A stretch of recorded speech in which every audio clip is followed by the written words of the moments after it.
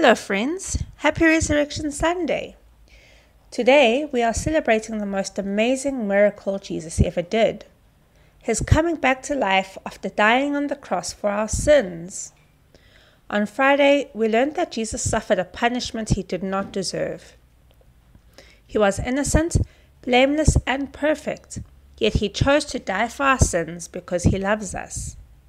We also know that when Jesus died, the temple curtain was torn in half, showing us that God was now giving everyone access to him.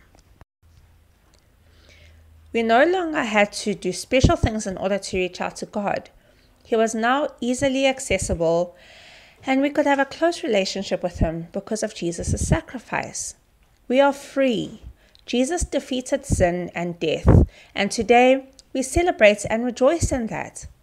Let us watch a special video showing us the resurrection of Jesus and what this wonderful miracle did throughout the world.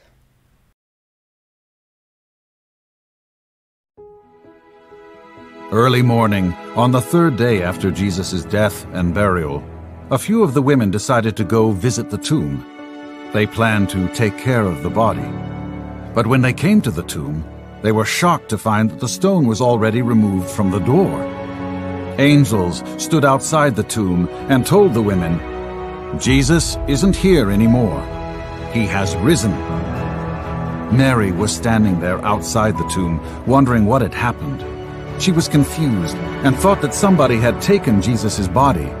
She did not understand what the angel was saying.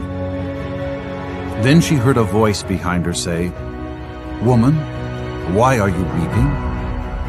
Mary didn't recognize the voice through her sobbing, but thought it must be the gardener who worked near the tomb. Please, sir, if you've taken his body, please tell me where you put it. Mary, the voice came again. Now, Mary recognized the voice. Teacher, she said as her heart flared up with gladness. It was Jesus. He was really alive. Go and tell my brothers, Jesus said. Mary turned and ran as fast as she could. It was true. Jesus was alive. She had just seen him with her own eyes. She was so excited and could not wait to tell the disciples and all the people that Jesus was truly risen. Back at the home where the disciples were gathered, Mary rushed into the room.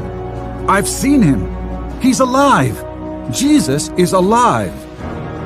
The disciples were so surprised they could hardly speak, but they too ran to see the risen Lord. One disciple wasn't so sure. Thomas couldn't believe that such a thing could actually happen.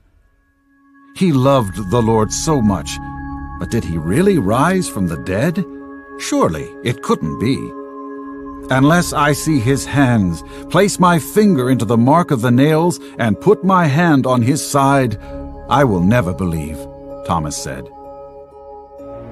One day, Jesus appeared to his disciples as they were sitting in their upper room. He didn't use the door. He simply walked through the wall. The disciples could not believe their eyes. It was really Jesus. He was alive. He was standing there in person, in their midst. Jesus even ate with them, so they could truly see that he was a real person and not a ghost. Then, holding out his hand, Jesus spoke. Thomas, put your finger here. See my hands and put your hand and place it in my side. Do not doubt. It's me.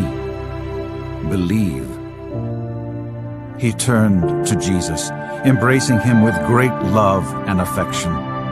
Jesus was truly alive. Jesus appeared to many other people, and soon word spread of his resurrection.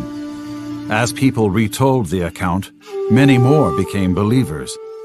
Everyone marveled at the fact that Jesus, the Son of God, came in human form to bring redemption and salvation to anyone who would believe. Jesus was the only sacrifice that could appease God's anger towards sin. He was the only way to enter eternity with God in heaven. To this day, we proclaim this wonderful message to all who are willing to hear.